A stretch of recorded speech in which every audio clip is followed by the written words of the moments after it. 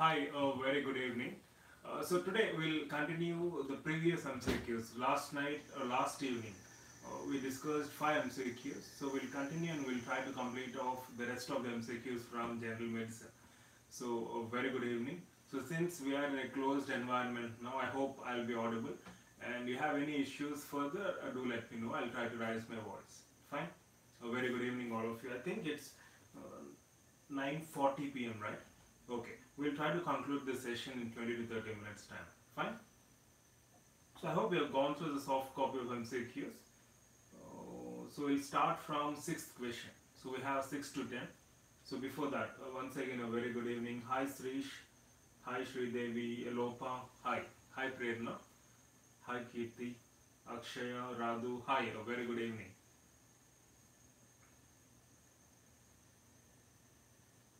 Yes, Rish and Sridevi, thank you.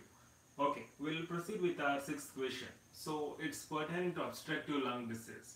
So as you can see, hallmark of obstructive lung disease includes decreased total lung capacity, decreased residual volume, decreased expiratory flow rate, decreased diffusion capacity. हमें कुछ और so we have four options: decreased total lung capacity, decreased residual volume, decreased expiratory flow rate, decreased diffusion capacity. So which of the following is considered to be hallmark or characteristic uh, feature of obstructive lung disease?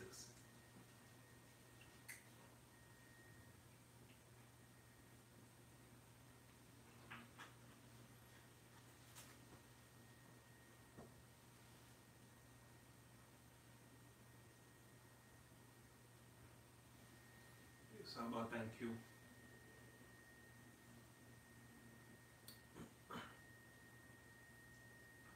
Good.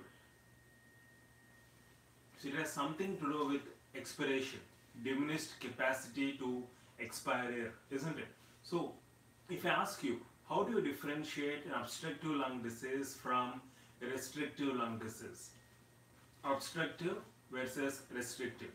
Do you think both are the same or are there any differences?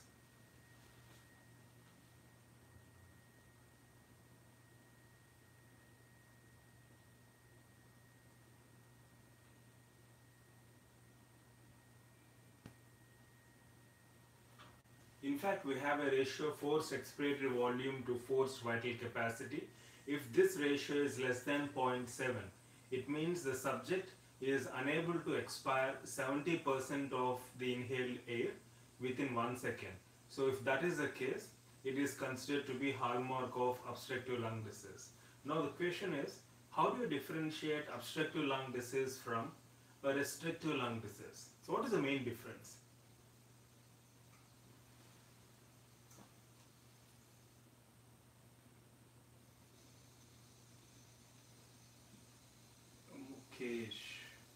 Hi.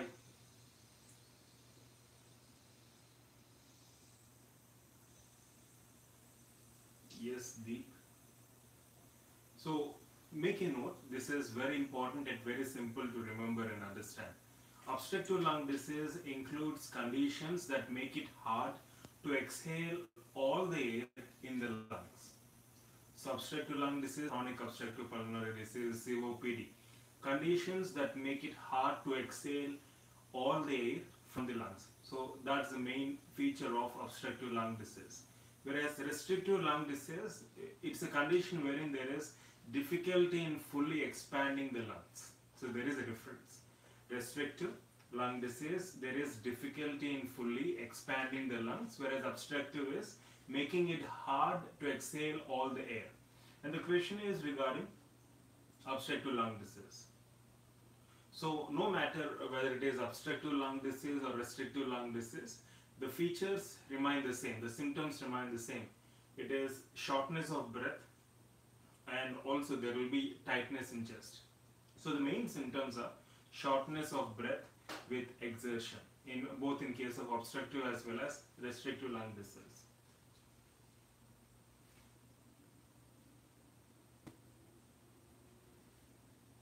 Yes. Audio is too low. I thought uh, it should be higher. Okay, uh, do let me know. Uh, based on that, I'll uh, try to raise my voice.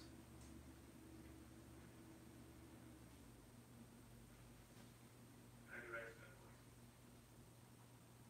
voice. It seems to be fine even here.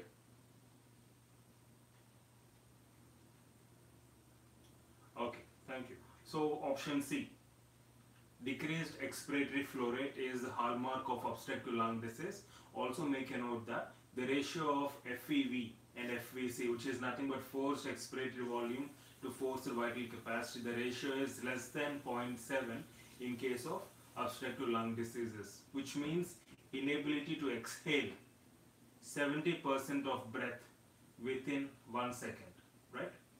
So option C is right answer as you all rightly mentioned. Good. Now, seventh question. We have discussed in detail regarding the same in one of the videos in e-classes, occupational lung diseases. So as you can see, Monday fever is caused by. So what is this Monday fever? Fever which is seen on uh, weekdays or at the beginning of the week. So what is this Monday fever? And the question is Monday fever is caused by deposition of carbon particles in lungs, deposition of carbon fiber, uh, cotton fiber particles in lungs, moldy hay, the fungus, or deposition of asbestos particles in lungs. We discussed in detail the symptoms, the features of various occupational lung diseases in E-classes. You can refer that for more information. So Monday fever is caused by which of the following? And why is it specifically termed as Monday fever?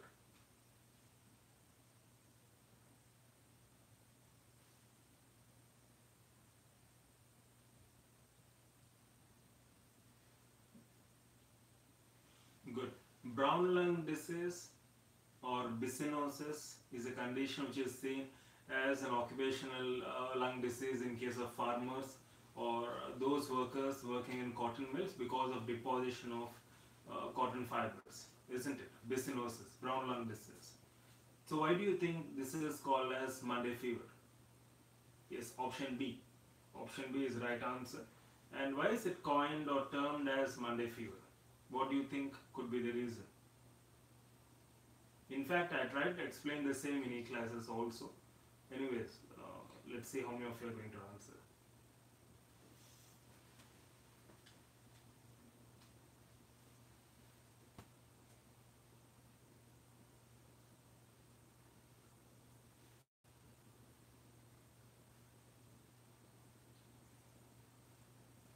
Usually in case of mild byssinosis, the symptoms are seen after a weekend break, the beginning of week, on uh, usually on Monday. Hence, it's called as Monday fever. But gradually, as the condition worsens, uh, you can uh, find the symptoms uh, uh, uh, tightness in chest or difficulty in breathing throughout the week. It's not just restricted to Monday if the condition aggravates, right? Hence, it's called as Monday fever. As as you rightly mentioned, Kirti, it's usually seen after a weekend break. That is after Saturday and Sunday. That is usually on Monday.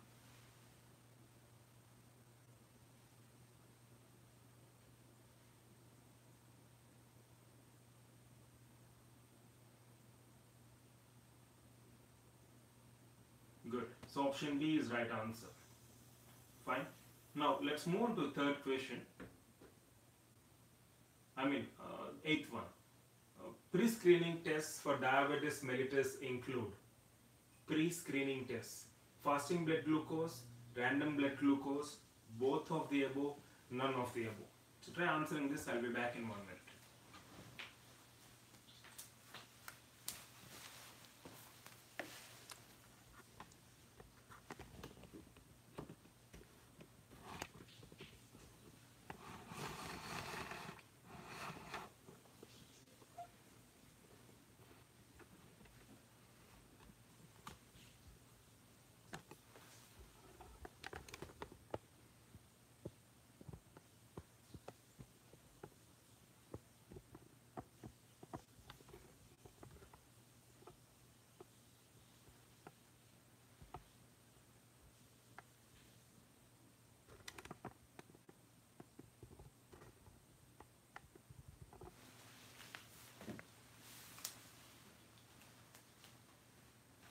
It seems to be streaming fine here, uh, Srish.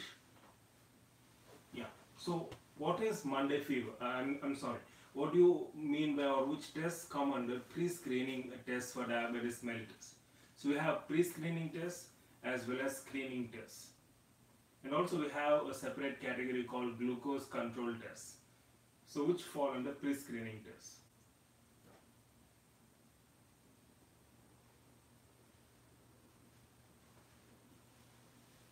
Fasting blood glucose as well as random blood glucose both fall under the category of pre-screening. It can be done at random for any individual. But for diagnosis of diabetes mellitus, we have something called as oral glucose tolerance test, OGTT. So this is nothing but a routine screening test. So pre-screening, we have fasting as well as random, whereas OGTT, oral glucose tolerance test, which is used for diagnosing or establishing diagnosis for diabetes mellitus falls under routine screening. Whereas we have glycated hemoglobin test, HbA1c, which falls under glucose control test, right? HbA1c test or they say three month test. So if you have any diabetics at home, you'll be familiar with all these tests, fasting, random, or postprandial, right? OGTT at the time of diagnosis, and most importantly for uh, glucose monitoring, uh, prognosis and all, we have this HbA1c, glycated hemoglobin test, right? So both fasting as well as random fall under pre-screening tests for diabetes mellitus.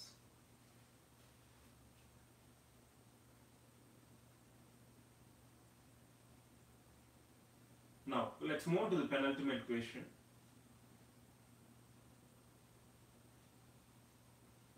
All of the following are features of hyperthyroidism except.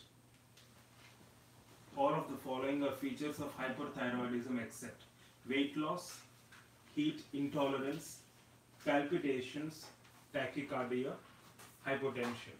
So we have weight loss, heat intolerance, palpitations and tachycardia and option D, hypotension.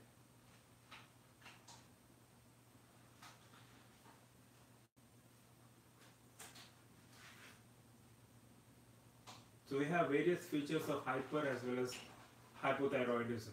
So as you know, weight loss, heat intolerance, palpitations, tachycardia, hypertension, dyspnea, atrial fibrillation. So all this fall under the category of hyperthyroidism, whereas in case of hypo, the reverse of what's mentioned, it can be hypotension, bradycardia, uh, even weight gain, cold intolerance, right?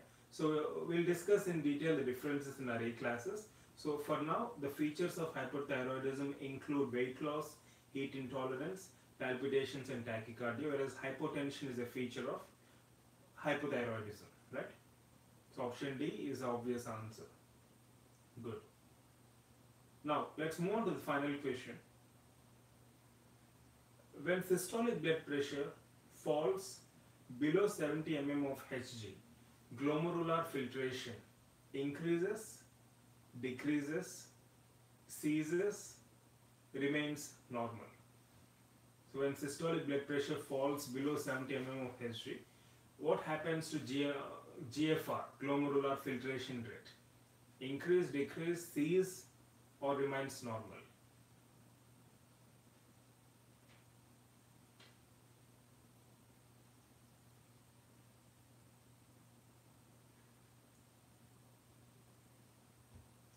Remember, this is very interesting to know. Glomerular filtration rate is something uh, which is uh, this kind of auto-regulation. In the sense, depending upon the variations in mean arterial uh, pre uh, pressure, so there can be increase in mean arterial pressure or decrease in mean arterial pressure. Uh, in spite of these variations in mean arterial pressure, the glomerular filtration rate remains almost the same in order to make sure that the electrolytes and fluid balance is maintained within the body right? I hope you can understand. So no matter what fluctuations are there in uh, systolic blood pressure or mean arterial pressure gfr through auto regulation tries to remain the same in order to maintain fluid balance as well as electrolyte balance. But we have a threshold value wherein as mentioned in the question when systolic blood pressure or the blood pressure as such, mean arterial pressure or systolic blood pressure falls below 70 mm of Hg, GFR. So uh, let me see, you say option B, C, so we have mixed response, right? So remember when mean arterial pressure is between 90 to 180 mm Hg, GFR remains the same. There won't be much uh, variations. So even though there is increase or decrease in uh, GFR, uh, it, it continues, right? So depending upon the arterial pressure, there can be variations in glomerular filtration rate through autoregulation. But once the systolic blood pressure drops below 70 mm Hg, GFR ceases. Urine output ceases. So what is the reason behind it? So why do you think there is cease or halting or stoppage of glomerular filtration as well as urinary output when systolic blood pressure falls below 70 mm Hg? So is it a kind of protective mechanism or uh, is there anything behind the screen?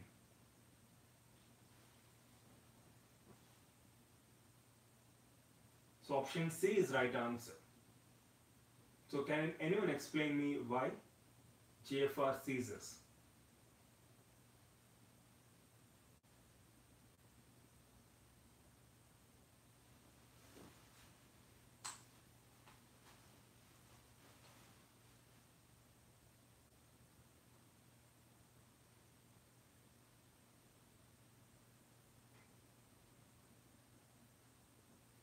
Yes, Singh. That seems to be a logical answer. Very good. So as I said, GFR ceases and urinary output also ceases. So it's nothing but trying to maintain uh, perfusion to various vital organs. We need blood volume to be maintained. So obviously that's the reason why GS, uh, yeah, GFR ceases. Helps in maintaining blood pressure. Good. Exactly. Also helps in sustaining water balance, electrolyte balance. Good. So uh, this glomerulus apparatus has this mechanism of autoregulation uh, through two mechanisms, myogenic as well as glomerulotubular feedback mechanisms. We'll uh, discuss all this in detail uh, in physiology or uh, whenever appropriate in our e-classes. Right?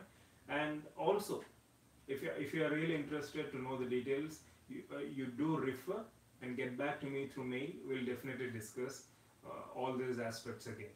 And also yesterday I asked you about the mechanism of action of digitalis. I asked you to uh, see and find out if you can, uh, so that you'll understand the question even more appropriate, uh, even more uh, well. I mean, the first question which we discussed was uh, contractility of heart increases during the following conditions except. So among the options we have seen, uh, there is some correlation between contractility and intracellular sodium. So what could be the reason for this? I said you can understand this only if you refer or only once you go through the mechanism of action of digitalis. So if you had referred, you can post your answer here or if you if you want to or if you haven't referred, do refer and get back to me so that we can discuss further. And as I said, digitalis it has something to do with blocking sodium potassium pump and this in turn leads to some amount of accumulation of sodium within the cell which is in fact leading to accumulation of calcium which in turn would lead to increased contractility. So there is some link up there. So uh, do refer and get back for further discussion.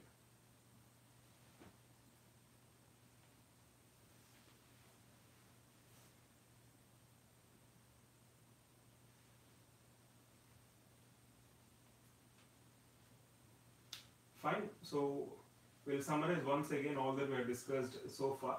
So we have discussed about hallmark of obstructive lung disease. We also discussed about how obstructive lung disease differs from restrictive lung disease. And also we have discussed the reason why there is decreased expiration. Uh, see, in case of obstructive, there is diminished capacity to expire air. In case of restrictive, there is diminished capacity to fill in the air, right? So total lung capacity decreases in case of restrictive lung disease, whereas it remains normal or increases in case of obstructive lung disease. So the hallmark of obstructive lung disease is decreased expiratory flow rate. And also we discussed about the ratio of uh, expiratory uh, flow rate as well as the ratio of forced vital capacity which decreases to less than 0.7 which means the inability to exhale 70% of a subject's breath in one second. And also we discussed about Monday fever, why it's called as Monday fever and the other name for Monday fever, byssinosis or brown lung disease due to deposition of cotton fibers. And also we discussed about pre-screening tests for diabetes mellitus. So we have different tests depending upon their clinical relevance. We have categorized them as pre-screening, screening, as well as glucose monitoring tests. So pre-screening obviously include your random blood sugar, fasting, postprandial. Uh, in specific, random as well as fasting. Uh, screening tests, oral glucose tolerance test, and then you have your glucose monitoring test, uh, which uh, which is nothing but a three-month HbA1c or glycated hemoglobin test, right? And also we have discussed about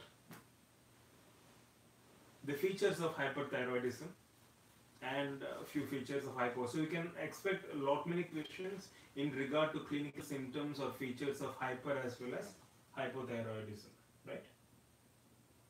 And finally, we discussed about uh, glomerular filtration rate, the auto-regulation mechanism, and uh, how GFR in fact remains uh, the same, more or less, either in, uh, either increase or decrease depending upon the systolic blood pressure, and why it is very much significant in order to maintain a fluid as well as electrolyte balance. And also, we have this threshold value 70 mmHg, below which the GFR ceases. Also, the urinary output is zero, literally. So, to in order to maintain fluid balance and to maintain perfusion to various vital organs, right?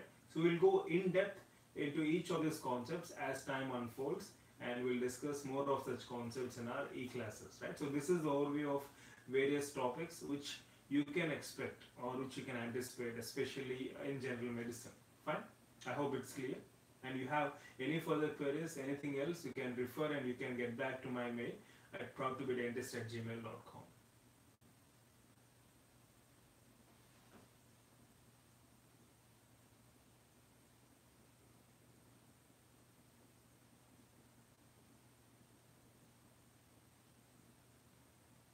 Exactly, Kirti, as you rightly said, digitalis blocks sodium potassium pump leading to sodium accumulation within the cells. As a result of which we have another pump called as sodium calcium antiport. So do refer that also. What is the sodium calcium antiport and how is it essential for maintaining either sodium or calcium levels, right? So just uh, you have almost given 70 to 80 percent of the picture, but see if you can also inquire or find out about sodium calcium antiport. Good.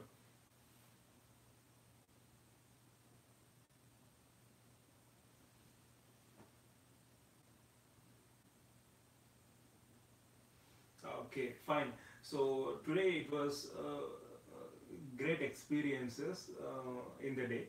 So morning we have we have been to uh, School of Dentistry, National University Seoul, and uh, as I mentioned in the post, uh, we could uh, get an appointment with uh, the associate dean there, and we just spoke for a few minutes. And and the and the campus I, I must agree that it's very good. Uh, it's sprawling greenery everywhere. And surprisingly on fourth floor we could find a balcony kind of thing wherein there is a green lawn just like a park where you can sit and relax and it's uh, really good to look at so the i mean the campus is very good uh, I, and regarding outpatients and all obviously since it's an university we have a medical college as well as uh, emergency hospital and medical hospital. So the inflow would be obviously uh, great uh, since it's a national capital and we can definitely expect good OP numbers and everything seems to be more organized and systematic. Uh, systematic. I'm sorry. Uh, got used to these terms local and systemic so uh, I've been mistakenly using the term systemic in, in places of systematic. So everything seems to be systematic. You just can't go randomly and meet someone there. So you should take an appointment, you should fix your appointment, you should mail them prior. Uh, so, I mean, uh, it seems to be uh, very systematic in, the, in that term. And also we could uh, go through uh, some of the galleries. And also uh, when you are entering the college, when you enter the college, you have a gallery of various uh, uh, various professors or various dentists who have qualified from this particular school of dentistry, National University Seoul, and the gallery seems to be just awesome. Uh, we have plenty of lighting there. And in, in, fact we're taking several pics. And whenever I get a chance I'll definitely share the pics with all of you. Right and also later later part of the day uh, by first publication uh, in a magazine uh, regarding hypertension it was approved and also was appointed as a science editor which I shared with you all in social media and thank you so much for your love and affection and in fact, I wanted to highlight one specific thing there. Also, I mentioned the same in the post. Conditioned thinking narrows our choices. We think we have only limited options. But thinking out of box and uh, pursuing your passion ultimately will give you more choices and you can create a new path and definitely uh, you can have your own uh, way of doing things and that will definitely inspire a lot many people around you. So thank you all for your love and support. And uh, so this week, we'll stop with this live session and uh, we'll see if we can plan more uh, recorded videos and definitely we'll plan on walk the street session in Seoul and I'll update regarding the same in our update group and you have any further queries anytime you can drop a mail at proudtobedentist gmail.com right so love you all take care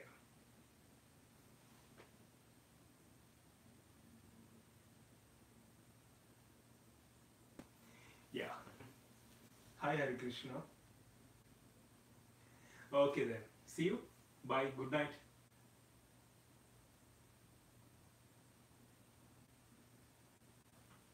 Bye.